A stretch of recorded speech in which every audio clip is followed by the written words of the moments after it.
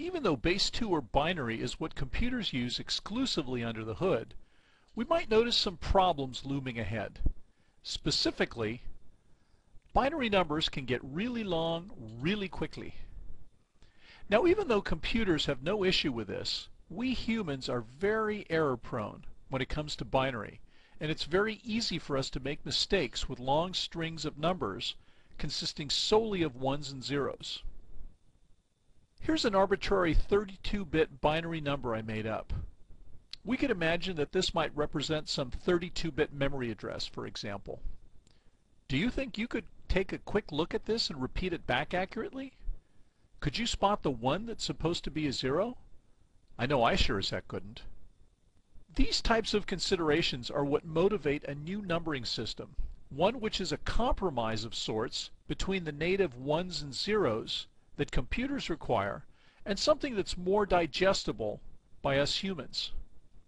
What we want to do here is consolidate the ones and zeros into groups of four and come up with some more distinguishable symbols to represent them.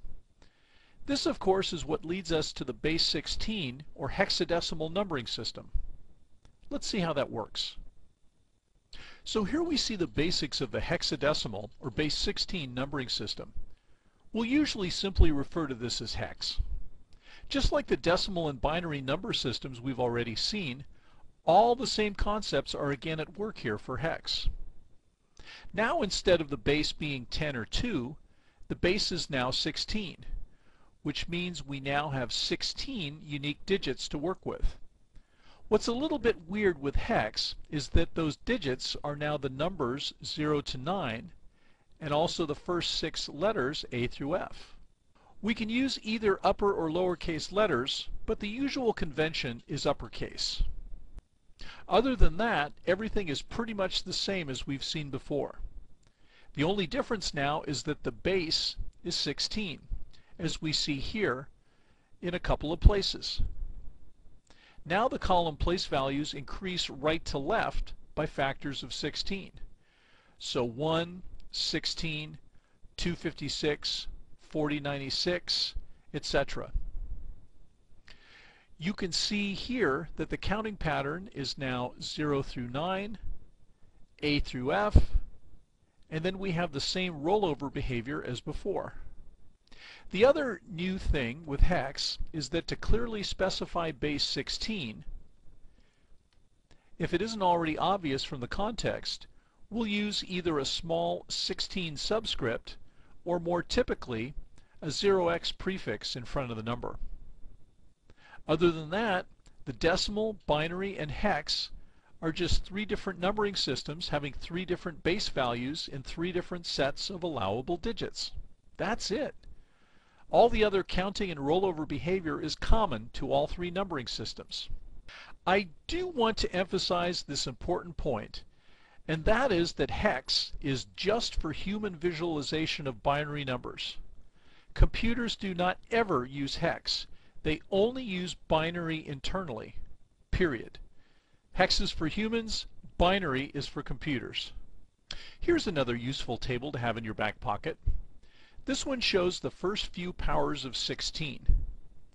You can see here that as the exponents increase, the decimal values are all increasing by a factor of 16, but the binary numbers are all increasing by a factor of 2 to the fourth, which you guessed it, is 16.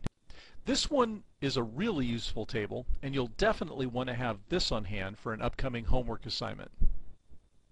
Here we can see the first 16 numbers as represented in decimal, hex, and binary. We'll make use of this whenever we need to do some quick conversions between hex and binary patterns. Notice that from numbers 0 to 9, decimal and hex are exactly identical. It's only for the numbers 10 through 15 that the hex counting gets a little strange. What you will also want to notice is the idea that going from binary to hex represents essentially a 4 to 1 compression of information.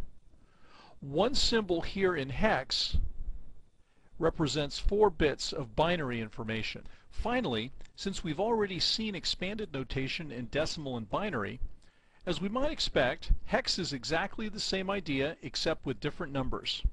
Now we're just dealing with powers of 16 instead of powers of 10 or powers of 2.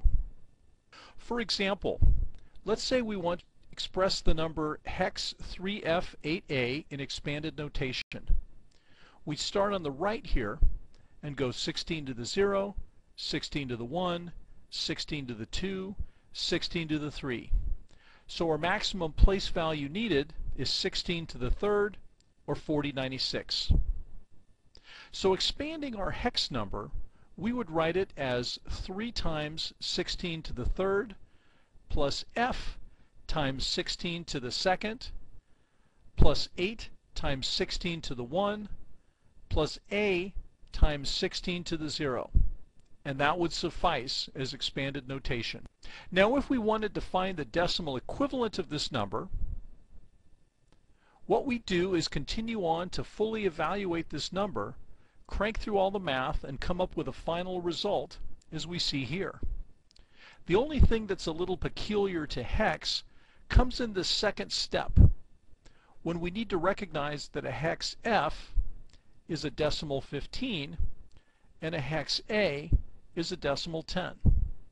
Other than that, it's pretty much just a turn the crank math exercise.